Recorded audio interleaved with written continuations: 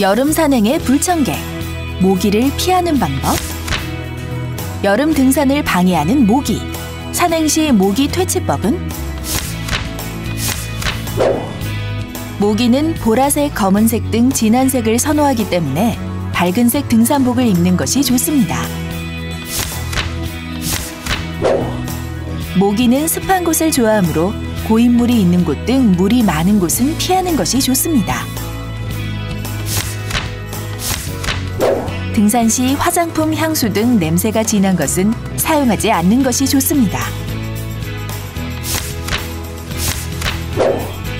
모기에 물렸을 때 라벤더 원액을 발라주면 진정 효과가 있습니다.